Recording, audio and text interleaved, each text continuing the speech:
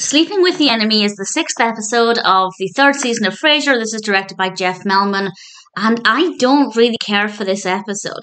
I think it's messages and some really good performances as well. The performances with Kate and Frasier are pretty great. Is largely because I don't like Kate.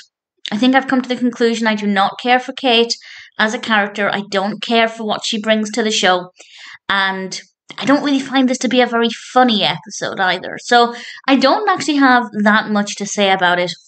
I will go through the episode and talk about a few things, but my notes are mostly just describing what's happening. I don't have that many thoughts or feelings. I didn't really respond to very much of this episode. I don't remember if I felt the first way uh, or felt this way the first time I watched it. Uh, I might have done, I genuinely can't remember, but watching it now, I just didn't care for it.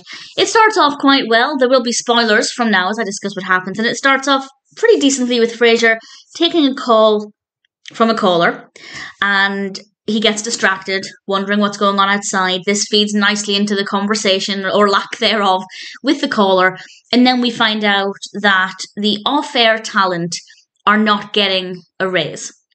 Obviously, that doesn't affect Frasier, but it does affect Roz. And they decide that something has to be done about this. So everybody's gathered at Frasier's apartment, and that was pretty great. I liked seeing a lot of the key characters there. Eddie barked at one point when Bulldog barked at him. We don't often get to hear Eddie barking, so that was that was quite cute. I liked that. Martin has some good things to say to help keep things moving in the right direction. But after that point, it just became kind of dull for me, and I didn't find it very interesting. Obviously, when they're talking about something as important as people not getting the raises that they've had year on year on year, and then somebody new comes over, takes over the station, and they decide, well, you're not getting them now. That's an important topic, and I think the episode does a good job of highlighting these potentially important issues. However, as I said, I didn't find it to be very funny. And sometimes I laugh out loud at Frasier all of the way through. Usually I do, but with this one, I just didn't feel any kind of humour at all. And it just becomes a little bit dull after everybody's been in Frasier's apartment.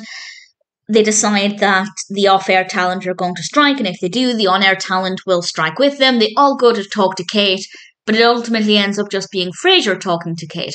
And while I don't like Kate, as I said, I do think the scenes with Frasier and Kate were really well performed. And the movements of the characters were great. There's one point where Kate's leaping on her desk pretty much, and, and the movement looks brilliant. It's very well filmed as well. So I can definitely praise it, but it doesn't necessarily mean that I enjoyed it. They're discussing why there's friction, they're shouting at each other, they're calling each other some pretty creative insults, actually. And then they kiss.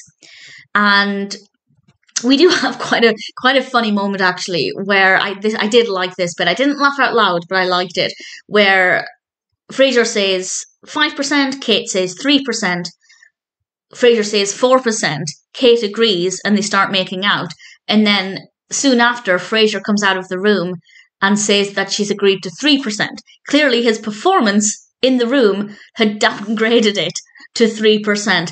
And then he went back in to get, well, in theory, to get them a, a, bigger percentage, but we all know why he actually went back in there, and uh, that's pretty much it. I, I don't care for it because mostly because I don't like Kate, but as I said, I just I don't think it's one of the funnier episodes. I don't think it's that interesting, but it is important. So I guess that's a good thing. It's not all dull, not all boring, and there are a couple of good moments as mentioned, but in general, needless to say, sleeping with the enemy is never going to be a personal favourite.